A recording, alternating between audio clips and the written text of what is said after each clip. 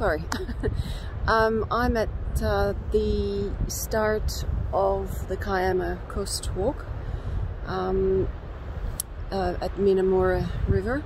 I'm going to do the first section of the walk today, um, about 8 kilometers to the Kiama Blowhole. Um, I don't think I'm going to go all the way because I want to see other things and um, 22 kilometers in one go is 11, yeah, 22 kilometers and one goes a lot um, for me. Um, and I'll take the train back. So I started at um, James Oates Re Reserve. I parked my car near the train station, so I'll train it back to Minnamurra. Uh, and yeah, I'm going to uh, take it easy, enjoy the views. Um, it already looks absolutely stunning today. I hope it doesn't get too hot. Um, but I've got plenty of water. Um, so yes, yeah, so I'll be filming this. I hope you enjoy it. I'm sure I will. Um, if you enjoy those videos, don't forget to subscribe to my channel because I'm going to have a lot more, and I do have a lot, uh, quite a few videos already. I'll see you soon.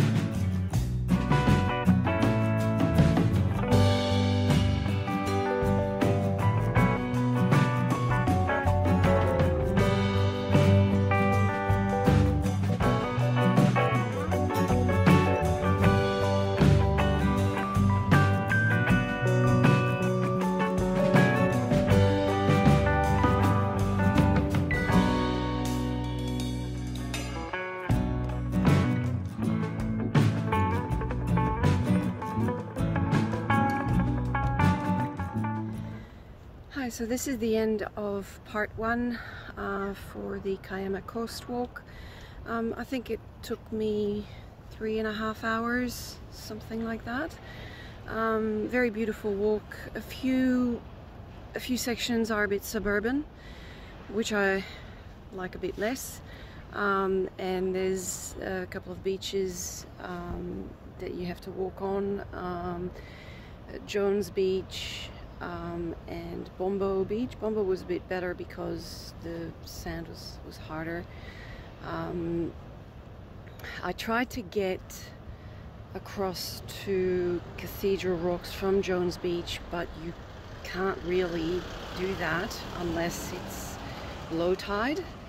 Um, I met a guy on the trail who, uh, who said to me, you can only really attempt that the first time at low tide. Um, mid tide, it's best if you know the place, don't even think about it at high tide. Um, so, so yeah, so I didn't get across, um, although, although if it's low tide, you, you should be able to. Um, yeah, so, so really beautiful walk, not not very difficult technically, really. Um, so highly recommend. Um, so if you enjoyed this video, please subscribe to my channel and I will have the um, second part of the walk very, very soon.